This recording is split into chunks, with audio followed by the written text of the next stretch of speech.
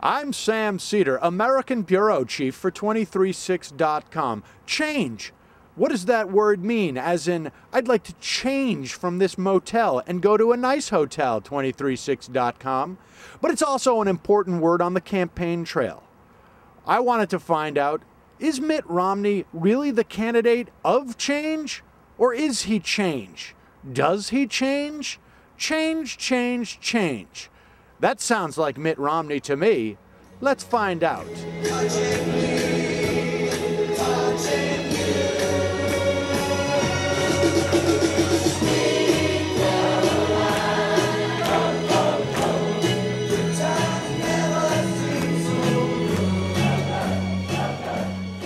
So you agree with uh, Mitt on the positions? Uh, do you agree with him on abortion?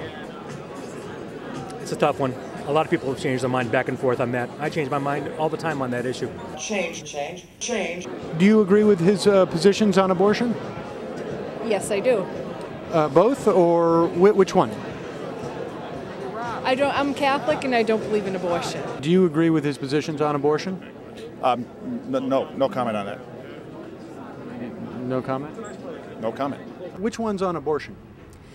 On abortion, I feel that everyone has a right to make a choice and they can change their mind. Change, change, change. So you're a little bit back and forth on it.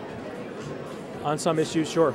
Going from pro choice to pro life, um, I feel that that was a strong change for him. Change, change, change. I don't think he personally was pro-life.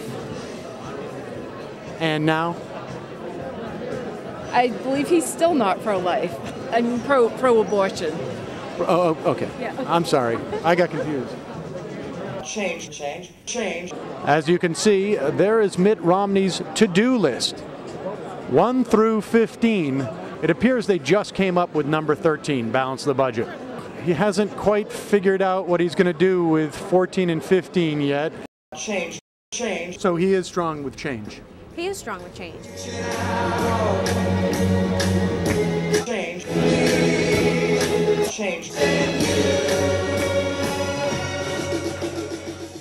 Change. So, Mitt Romney, maybe he's not so much a flip flopper as he is a candidate of changey, changiness, changer. He's a changey, changey, he chain, changey. I'm Sam Seder for 236.com. Thanks for joining us.